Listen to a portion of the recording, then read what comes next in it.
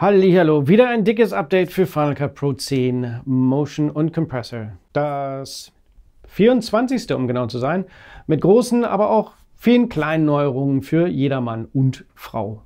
Naja, besonders jedermann und Frau, die sich für Dinge wie VR-Videos und Farbkorrektur interessieren.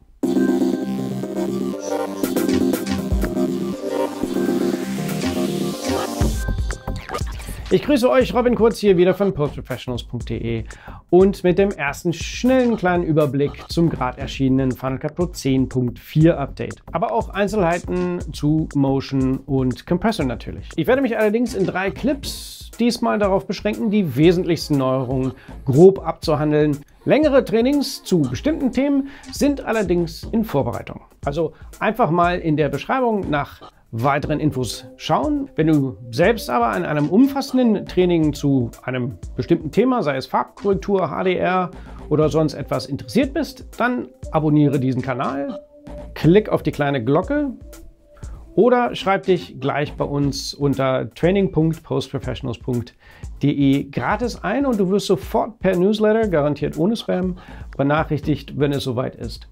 Dort habe ich aber auch ein paar Gratis-Plugins und ein bisschen Material hinterlegt, die hier zu dem ganzen Thema passen.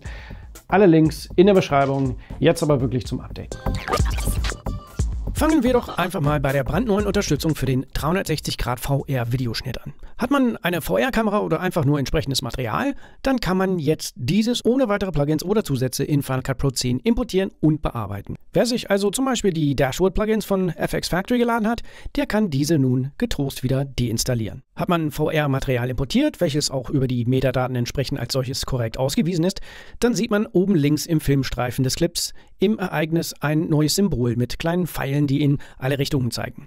Jetzt kann man mit Command N ein neues Projekt anlegen, es zum Beispiel mein VR nennen und hier entweder auf die eigenen Einstellungen gehen und einfach vorab auf das jetzt neu zur Verfügung stehende 360 Grad Projektformat sowie passende Größe und Bildrate voreinzustellen, wobei hier sowohl monoskopische als auch stereoskopische Projektionsarten unterstützt werden.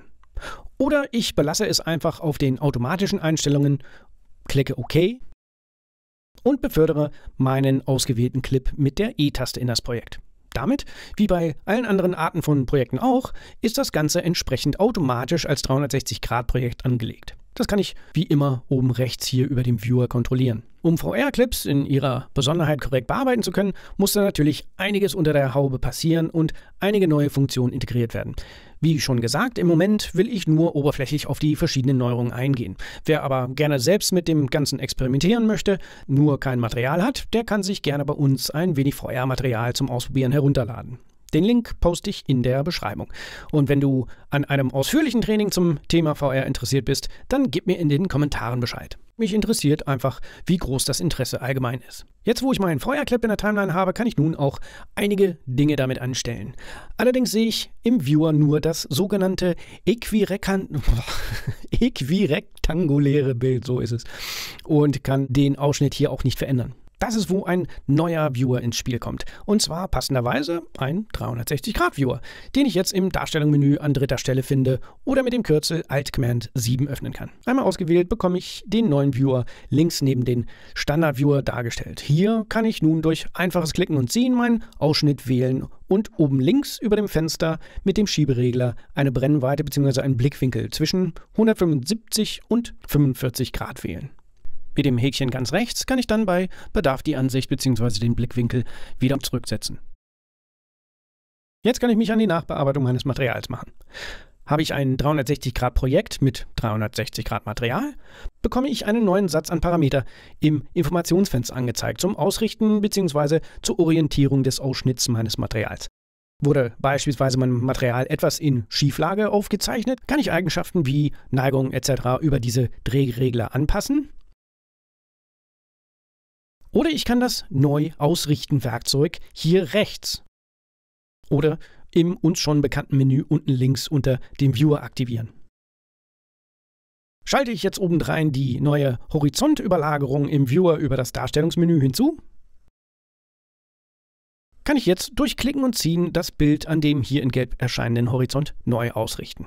Zum Beispiel bei dieser Aufnahme sehr hilfreich, wo ich, keine Ahnung warum, das Ganze um 90 Grad gedreht aufgenommen habe. Mit dem Orientierungswerkzeug und dem Horizont aber auch kein unlösbares Problem.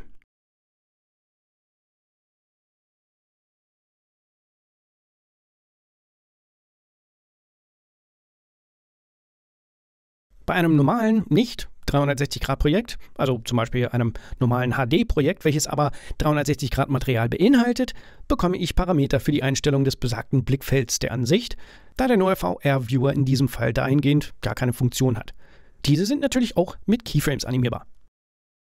Das, was man im Viewer sieht, ist dann das, was am Ende ausgegeben wird. Und das Material ist selbstverständlich mit den entsprechenden Metadaten bzw.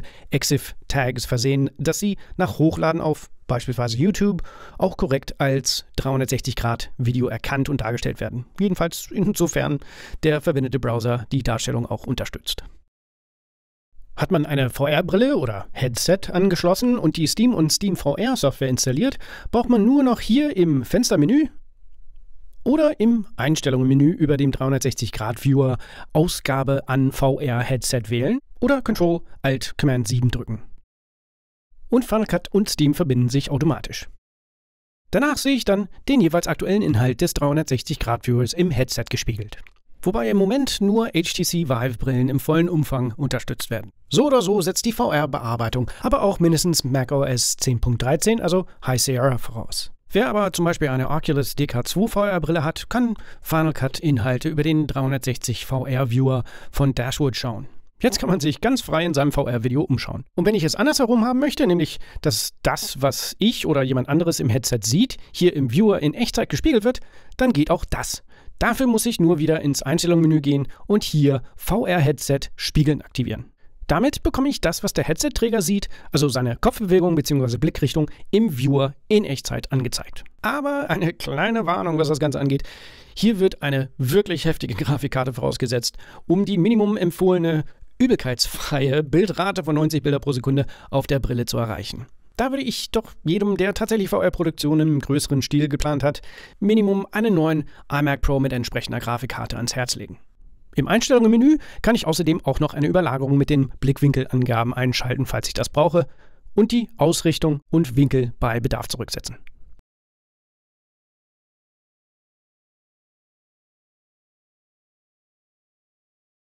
Darüber hinaus sind auch noch einige neue Filter, Titel etc. speziell für die VR-Nachbearbeitung hinzugekommen. Diese findet man jeweils in einer neuen 360-Grad-Kategorie in deren respektiven Übersichten. Einmal in der Effektsübersicht finden wir zum Beispiel einen 360-Grad-Patch-Filter, um ganz klassisch sein Stativ aus dem Bild zu retuschieren.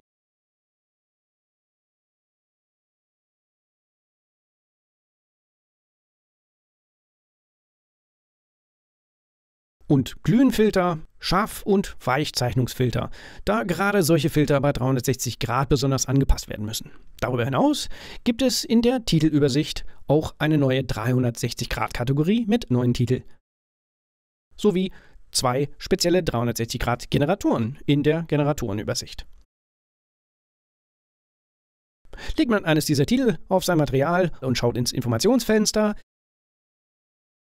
dann fallen diese 360-Grad-Titel, vielleicht nicht ganz unerwartet, durch zusätzliche Parameter für Tiefe sowie X, Y und Z-Rotation auf, womit ich demnach die Titel natürlich auch frei in meiner 360-Grad-Umgebung platzieren kann. Ein Thema, was uns zum ersten Mal zu Motion bringt, wo diese ganzen Effekte, Titel und Generatoren schließlich ja gebaut werden mussten. Wenn wir kurz zu Motion wechseln und in der Projektübersicht mal in das Menü für die Voreinstellungen schauen, dann sehen wir hier natürlich auch eine bzw. zwei Voreinstellungen, um ein 360-Grad-Video-Projekt, Effekt, Generator, Übergang oder Titel anzulegen. Einmal angelegt, sehen wir auch hier, dass es entsprechend neue Darstellungsmöglichkeiten gibt, beziehungsweise genau genommen wir gleich zwei neue Ansichten zur Auswahl haben. 360 Grad Rundblick und 360 Grad Übersicht. Das ganze Thema Motion wird nun also noch komplexer. Und wo wir schon hier sind und über die verschiedenen Projektformate sprechen, kann ich ja auf eine kleine weitere Verbesserung in Motion hinweisen, nämlich die Tatsache, dass wenn ich mal ins Dateimenü schaue, wir hier einen neuen Punkt haben, und zwar Projekt konvertieren in. Hierüber kann ich mein jeweils aktives Projekt beliebig nachträglich in eins der anderen Vorlageformate mit einem Klick umwandeln. Das heißt, wenn ich zum Beispiel nur ein einfaches Projekt angelegt habe, aber irgendwann mir denke, dass das Ganze als Titel inzwischen doch viel sinnvoller wäre, was mir persönlich auch schon oft passiert ist, dann muss man bisher alles in eine neue Vorlage des gewünschten Formats rüberkopieren und neu speichern.